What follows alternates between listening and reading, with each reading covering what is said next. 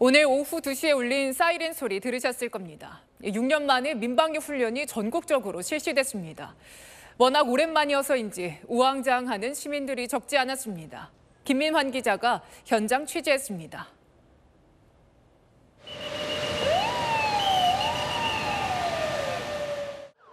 오후 2시 정각이 되자 요란한 사이렌이 울립니다.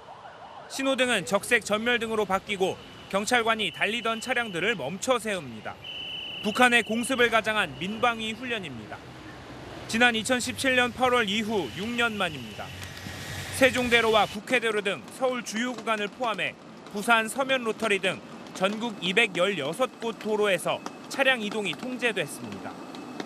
공습 경보가 발령된 15분간 시민들은 지하철 역사 등에서 대기했고 쇼핑몰에 있던 시민들도 대피소로 몸을 피했습니다. 백령도와 연평도 등 서해 5도에선 북한 포격 상황을 가정해 주민들이 해경 경비정과 소방 헬기를 타고 섬을 빠져나가는 훈련도 진행됐습니다. 다만 6년 만의 훈련에 곳곳에서 우왕좌왕하는 모습도 보였습니다. 상당수 시민들은 통제에도 아랑곳 없이 가던 길을 재촉했고 지하철을 이용해 주시면 됩니다. 일부 시민들은 공습 경보가 끝난 뒤에도 한참 동안 지하에 머물기도 했습니다. 15분까지 대피해야 되는 줄을 몰랐어요.